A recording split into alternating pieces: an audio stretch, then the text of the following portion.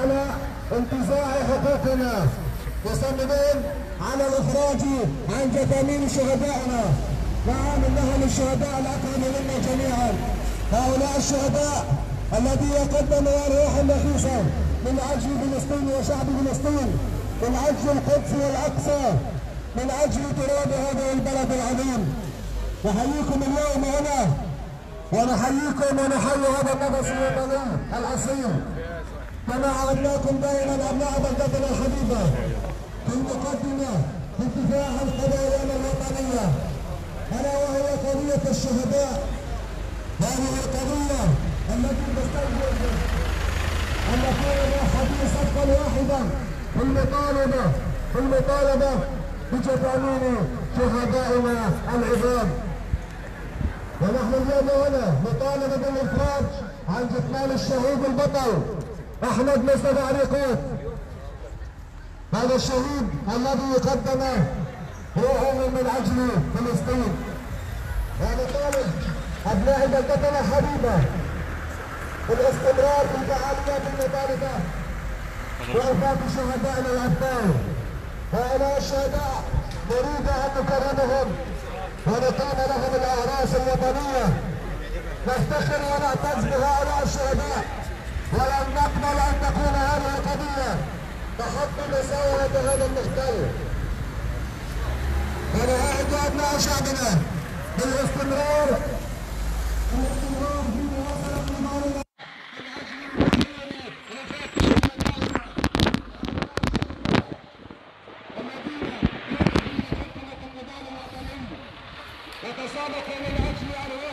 أنتم تشاهدون الآن هذا البث المباشر. على شبكة القسطلة الإخبارية لوقفة تضامنية المطالبة بإعادة جثامين الشهداء الشهداء المحتجزة عند الاحتلال الاحتلال الصهيوني.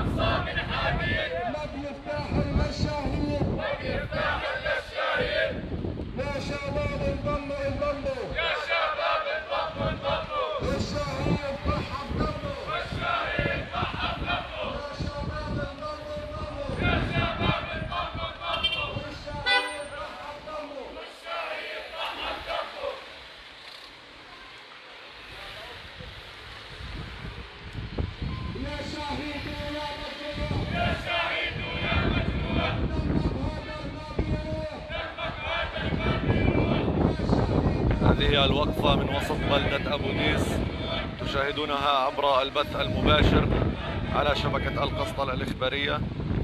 الوقفة تطالب بإعادة جثامين الشهداء الفلسطينيين المحتجزة عند الاحتلال الصهيوني.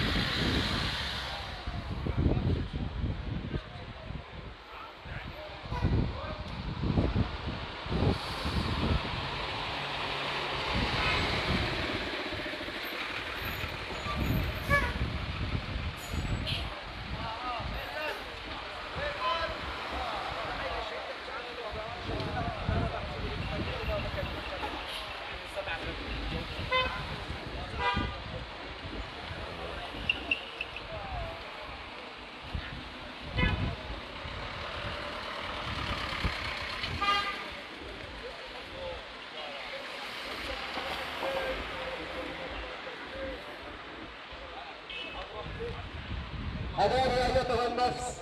حذاري أيتها النفس فأن الجبن ميت. إن الجبن ميت والردى في الاوج صوت نحييكم اليوم هنا وأنتم تقفون في مواجهة هذا العدو الصهيوني الغاشم. المطالبه بجثمان الشهيد أحمد مصطفى عريقات وكافة شهدائنا المحتجزة وجثامينهم قدام لاجئة الاحتلال. هذا العدو والسادي الذي يريد أن يعذب المعذب وأن يحتجز الأموات قبل الأحياء. هذا العدو الذي يتلذذ في عذاب أبناء شعبنا. لا لكم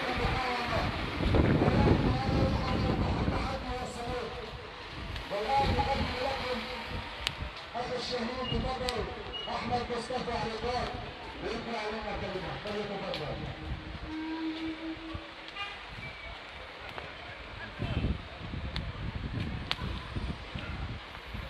مساء الخير للجميع. هو أمر فلسطين وليس وليس فقط. وسوف تبقى أبو وكل مدن فلسطين هي منبع ومنبع الشهداء حتى تحرير أرض فلسطين. فنحن نعلم أن كل عائلة في فلسطين فيها الأسير وإذا لا يوجد الأسير فيها الجريح وإذا لم يوجد الجريح فيها الشهيد. فهذه هي ضريبة الوطن. هذه هي ضريبة فلسطين. يحسب الإحتلال أنه بأسرنا بجرحنا بقتلنا انه يفني من ارادتنا لكن والله بالعكس ما يقوم به الاحتلال هو وقود للنار الموجودة بداخلنا. حتى نعيش بحرية وبكرامة كباقي كباقي شعوب العالم.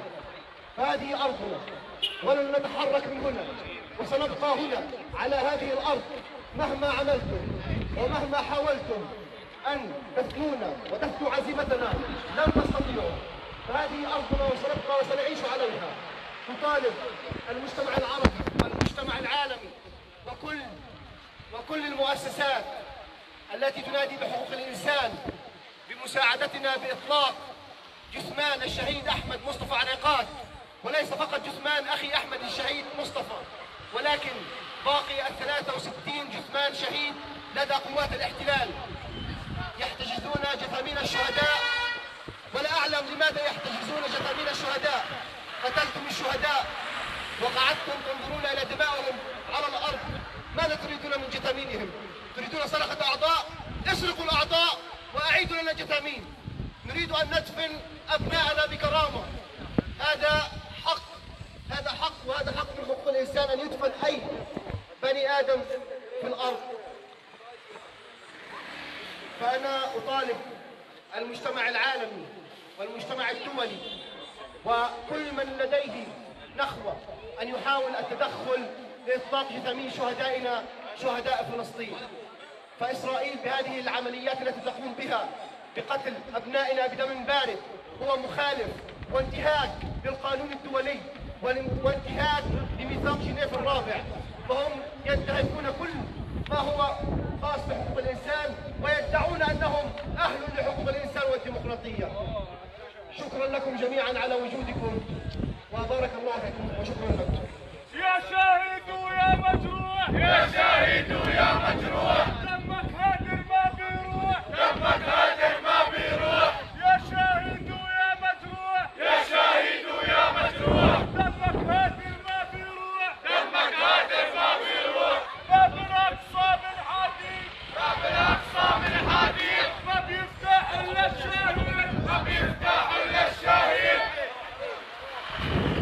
ولا نكتب الشباب لا بالشباب جاي جاي اشتباك بالروح بالدم نفديك يا شهيد بالروح بالدم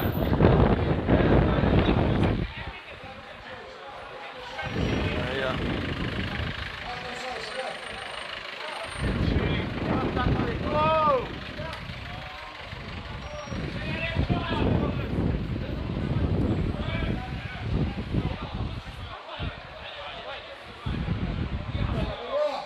نفديك يا شهيد نفديك يا شهيد بالروح بالدم نفديك يا شهيد بالدم نفديك يا شهيد